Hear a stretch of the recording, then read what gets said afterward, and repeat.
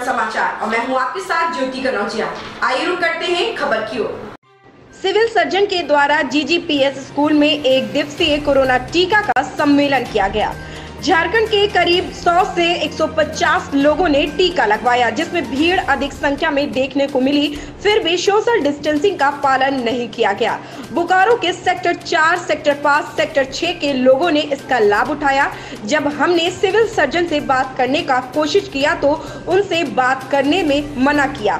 हमारे भारत सरकार ने कहा था कि मास्क और सोशल डिस्टेंसिंग बनाए रखें तभी जाएगा कोरोना।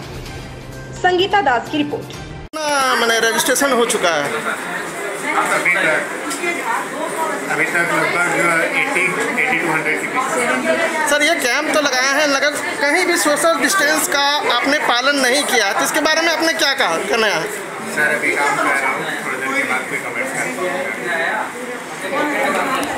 सर वैक्सीन का लगाया गया है मगर यहाँ सोशल डिस्टेंस का कोई पालन नहीं हो रहा है। क्यों? ऐसा ऐसा क्यों? लोग नहीं हम लोग नहीं है हम लोग स्टाफ है सर स्टाफ है तो इसका मतलब ये तो नहीं है कि सोशल डिस्टेंस का पालन नहीं करे। पालन तो हम लोग बोल रहे हैं हम लोग अनाउंसमेंट ही कर रहे हैं। तो आपने अभी हमने देखा कि यहाँ पर कोई भी सोशल डिस्टेंस का पालन नहीं हो रहा है और केंद्र तो खोल दिया गया है।